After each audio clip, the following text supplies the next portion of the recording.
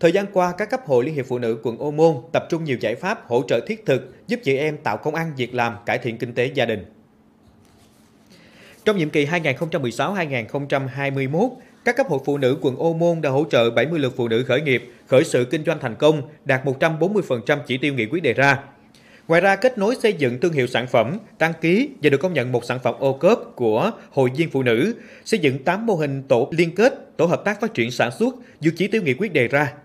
Các cấp hội còn duy trì hiệu quả các mô hình giải quyết việc làm sau đào tạo nghề như các tổ may gia công, sản xuất non lá, đan lục bình, dần dần.